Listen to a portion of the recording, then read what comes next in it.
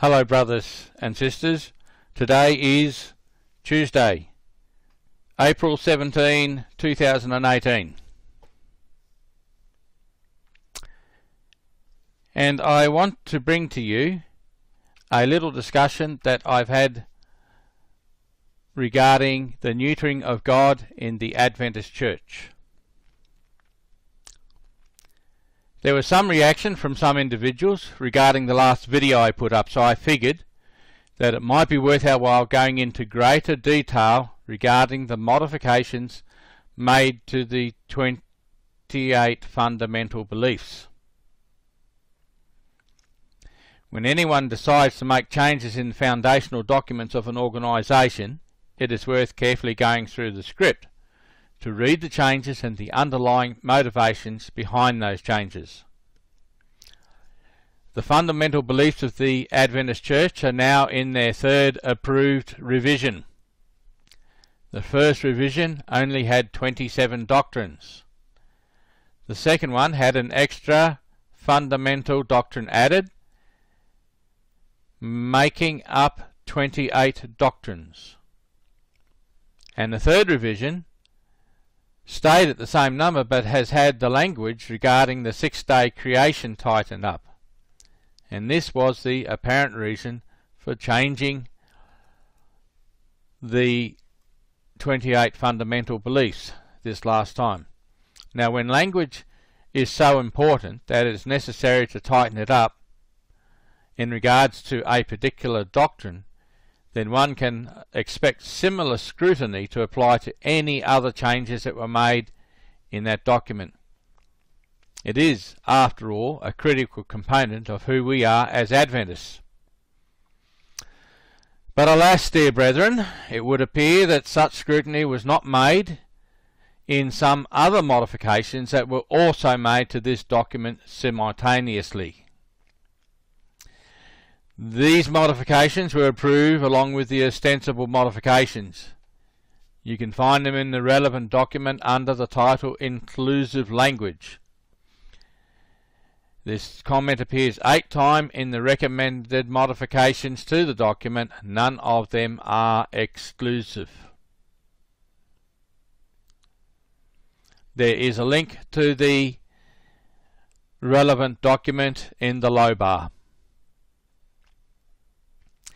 Now the problem I have with this effort is that the Bible is an exclusive book. It excludes the wicked from heaven. It excludes those who refuse to follow the teaching of the Bible from church. And it excluded females from serving as priests in the temple. Interestingly, the God of the Bible is the only God who excludes females from the temple service. The surrounding nations had serving in the temples of their gods females, which puts the lie to the argument that the practice of excluding females from temple service was a cultural artifact. In addition, when Aaron and Miriam were both called up before God at the temple for their dispute with Moses over leadership of the nation of Israel, only Miriam faced the wrath of God.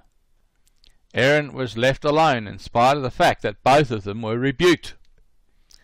A clear distinction being made by God between male and female.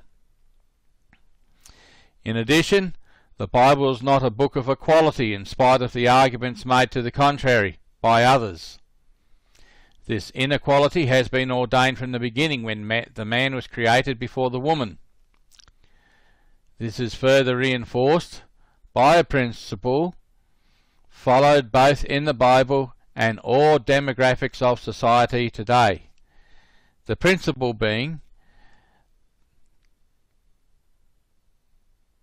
that the name giver asserts rights and or authority over the name receiver. It was Adam who asserted this authority over his partner the moment God brought him before her by giving her the name woman, a name that has been accepted by the female society from that day to this. Parents in all cultures name their children, asserting authority over their children, and the children recognize this authority. So what we see now is our church working against this distinction ordained by God by including eight changes in the fundamental beliefs under the title Inclusive Language. So let's take a look at these changes. The link to the document I'm about to show is in the low bar.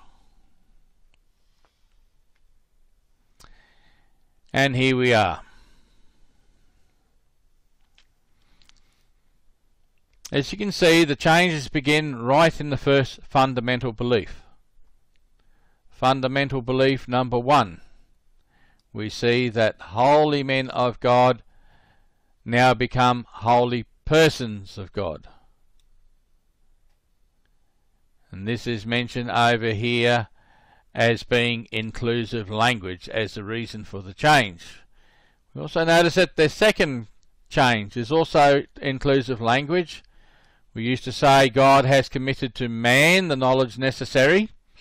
It is now becoming God has committed to humanity the knowledge necessary for salvation.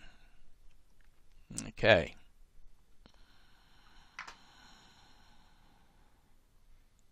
We'll then go to fundamental belief number four, and we saw that Christ, He became also truly human, whereas prior he became also truly man. Once again, the reason for the change being given as inclusive language.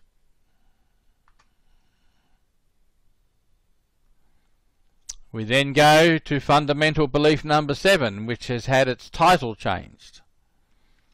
Now says the nature of humanity, as opposed to prior, it said the nature of man. Once again, as you can see, inclusive language is the motivation for the change. Nothing to do with what the Bible has to say on the matter. Okay, we can go to fundamental belief number 12. And once again, says here for service to humanity, whereas prior to that it was service to all mankind. And the motivation once again is inclusive language.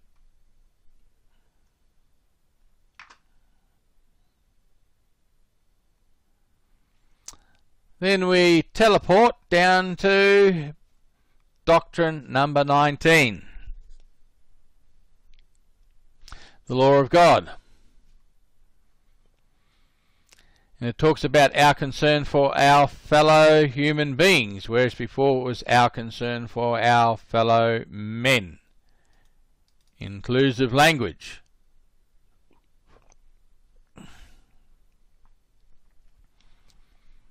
Then we go to fundamental belief 21. We acknowledge God's ownership by faithful service to Him and our fellow human beings. Prior to that, it used to be service to Him and our fellow men. Inclusive language, the motivating factor once again.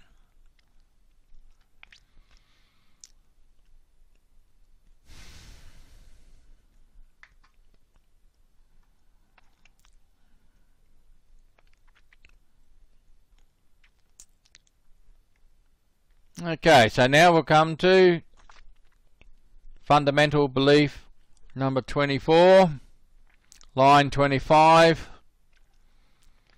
It's a sanctuary in heaven, the true tabernacle, which the Lord set up and not humans. It used to be what the Lord set up and not man. This one here gives me a bigger problem than some of the others because if we go to Hebrews 8 2. Let's go and check that up.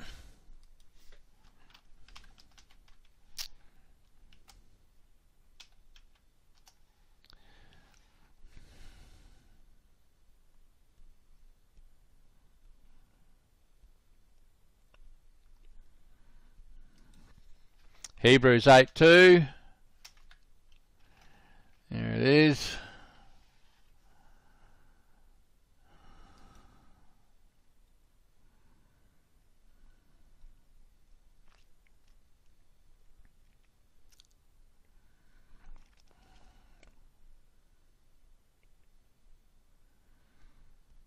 Hmm. And here we are. A minister of the sanctuary, Hebrews 8 2, a minister of the sanctuary and of the true tabernacle which the Lord pitched and not man. Very clearly there refers to man. And you'll find in most other translations of the Bible it very clearly says, the Lord set up and not man.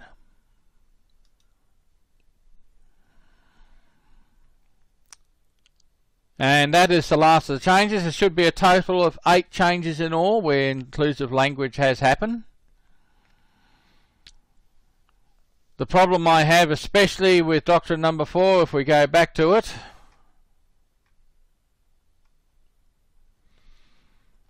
is that by saying that uh, Christ became truly human, the gender is nondescript. Was Jesus a man or was he not?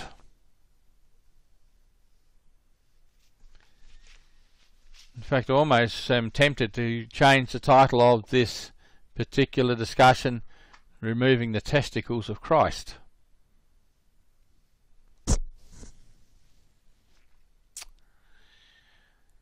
At the end of it all, it is perceived, given the way these changes moves away from the Bible, that this is simple pandering to the feminist lobby. As a consequence, I personally cannot go along with these changes and would ask the Church at large to consider rolling back these changes in the interest of remaining true to the Bible as opposed to pandering to the feminist lobby of the Church in particular and worldly popularity at large.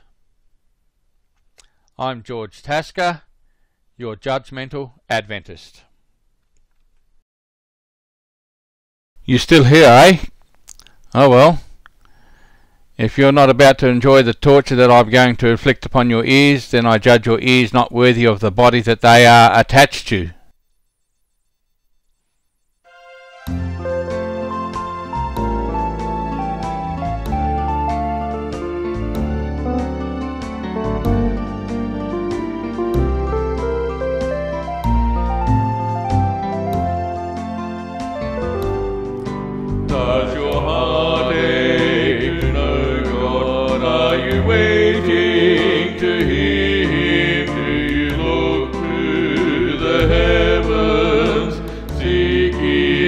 us up.